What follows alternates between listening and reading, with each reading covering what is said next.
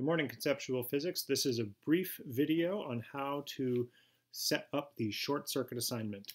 So I would like for you to go to the snap circuits and build project one, except please notice that I'm calling this project one the short circuit.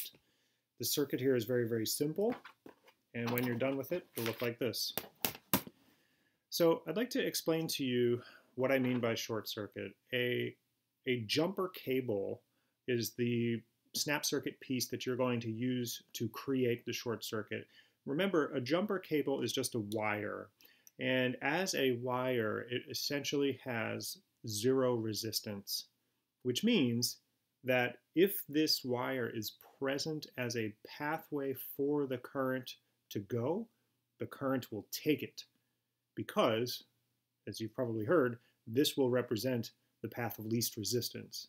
So turn your, your circuit on, you've got a lit light bulb, and when I say create a short circuit, what I mean is you're going to take the, the snaps and you're going to connect them very briefly across different places in the circuit. Please don't leave it connected because that will start to heat up the battery.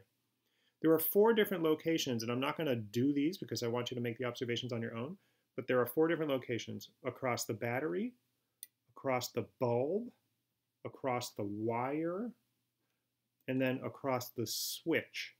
Actually, there are five locations because I would like for you to create a short circuit for the switch in both the off and the on position. I want you to make a video of yourself narrating these observations and then accompany that with a PhET simulator to, uh, uh, for your final submissions. Thank you.